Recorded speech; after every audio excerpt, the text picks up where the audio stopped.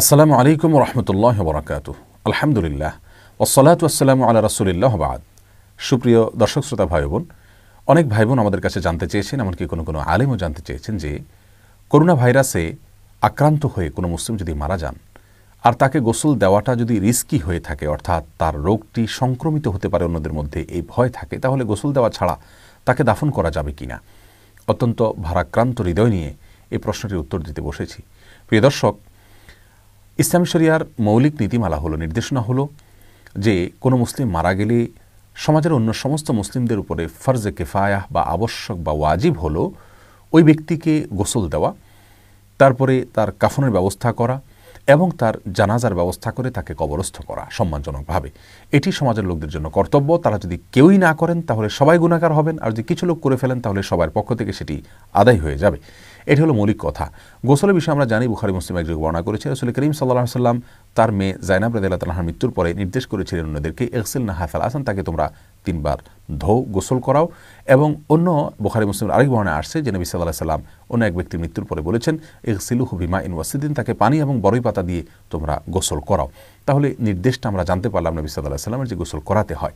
এখন কথা হলো করোনা ভাইরাসের সংক্রমণের ভয়ে গোসল করানো ছাড়া কোনো মৃত ব্যক্তিকে কবরস্থ করা যাবে কি না প্রিয় দর্শক এই প্রশ্নের উত্তরে আমরা বলব যে আল ওয়াতন অনলাইনের মধ্যে মিশরের আলহাজার বিশ্ববিদ্যালয়ের লাজনাতুল ফতোয়া ফতোয়া বোর্ডের রাইস বা প্রধান এবং সর্বোচ্চ সদস্য ডক্টর আব্দুল হাদি জাহারে তার একটি ফতোয়া এখানে নকল করা হয়েছে, উল্লেখ করা হয়েছে। সেখানে তিনি বলেছেন যে করোনা ভাইরাসের সংক্রমণ অথবা এই জাতীয় কোনো অসুস্থতা বা রোগবালাই এগুলো ছড়িয়ে পড়তে পারে, এরকম আশঙ্কা যদি থাকে এবং গোসল করানোর কোনো ব্যবস্থাই যদি না থাকে, অর্থাৎ সতর্কতামূলকভাবেও যদি গোসল করানোর কোনো স্কোপ না থাকে, করতে গেলেই সেটা রিস্কি হয়ে যায় সমাজের অন্য মানুষের জন্য, তাহলে সেক্ষেত্রে বিকল্প হতে পারে তায়াম্মম।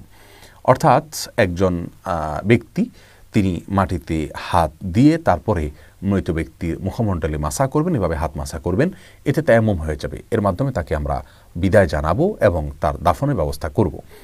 আর যদি তেমমটাও রিস্কি হয়ে যায় এবং কোনোভাবেই তেমম করানো না যায় তাহলে সেক্ষেত্রে এই ব্যক্তিকে গোসল এবং তায়াম্মম ছাড়াও যদি দাফন করা হয়, তাহলে কোনো অসুবিধা হবে না।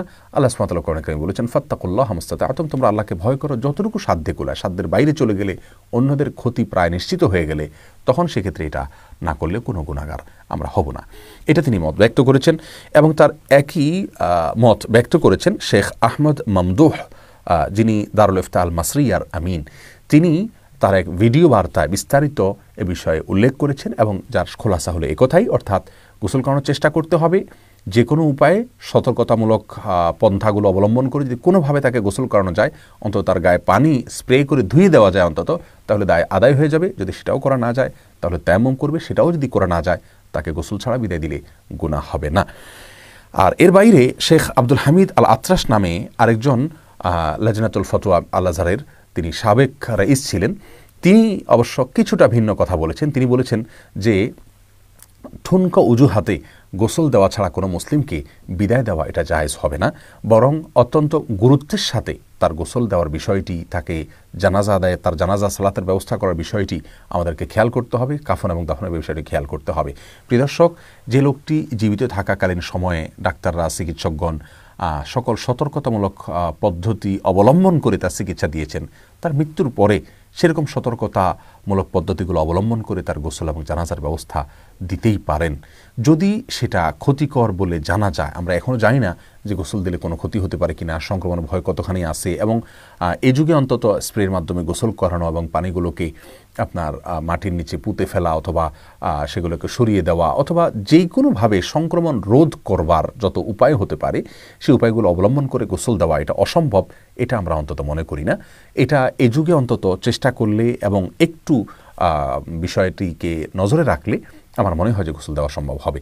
যদি সংশ্লিষ্ট কর্তৃপক্ষ, চিকিৎসকগণ এবং অন্যান্য সংশ্লিষ্ট বিষয়ে অভিজ্ঞরা বলেন যে না, এটা কোনোভাবেই সম্ভব হবে না, করতে গেলেই রিস্ক নিশ্চিতভাবে থাকবে এবং সেটা ভয়াবহ হবে, তাহলে সেক্ষেত্রে বিনা গোসলে তেমম শুধুমাত্র একজন ব্যক্তি মাসা করে তেমম করে দিতে পারেন, সেক্ষেত্রে গ্লাভস পরেও তিনি তেমম করাতে পারেন।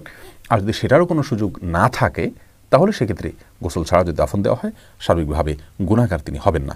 প্রিদর্শক এ বিষয়ে আমাদের অনেককে দেখা যায় মন্তব্য করতে যে আল্লাহ এরকম মৃত্যু দিও না, যার জানাজাতে অল্প মানুষ আছে এবং পরিবারও সামিল হতে পারে না অনেক সময় এবং তার গোসলও ভালো করে হয় না, সুন্দরভাবে কবরে রাখাও হয় না। প্রিয় দর্শক এই বিষয়গুলো আমাদের যেন মন খারাপের কারণ না হয়। কারণ মনে রাখতে হবে যে ব্যক্তির জানাজায় বেশি উপস্থিত, মানুষ উপস্থিত হওয়া এটা ভালো জিনিস সন্দেহাতীতভাবে।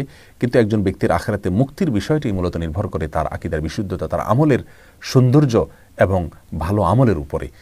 তার জানাজা যদি নাও কেউ পড়ে, কার তার যদি লাশটা দাফন করার যথাযথভাবে কোনো সুযোগ নাও থাকে, আর তার আমলটা যদি ভালো থাকে, আল্লাহর সাথে তার সম্পর্ক যদি ভালো থাকে, তাহলে এই ব্যক্তির আখেরাতের পথ সমুজ্জ্বল। আর এর বিপরীতে একজন মানুষকে সুন্দরভাবে দাফন, কাফন, গোসল সবই হলো, জানাজাও হলো, লাখো মানুষ উপস্থিত হয়তো হলো, হাজারো মানুষ উপস্থিত হয়তো হলো, কিন্তু লোকটার যদি আমল ভালো না হয়, তাহলে আখেরাতে তার মুক্তি কোনোভাবেই নিশ্চিত করা যায় না বা মুক্তির আশা করা বড় কঠিন। প্রিয়দর্শক সেজন্য আসুন, এ বিষয়ে আমরা পেরেশান না হয়ে নিজেদের আমলগুলোর দিকে নজর দেই। আল্লাহর সাথে সম্পর্কের অবস্থা কী, সেটার দিকে আমরা নজর দিই এবং আমরা নিজেদের সংশোধন করি, আল্লাহর দিকে ধাবিত হয়ে রুজু করি। আল্লাহ তালা আমাদের সবাইকে তৌফিক দান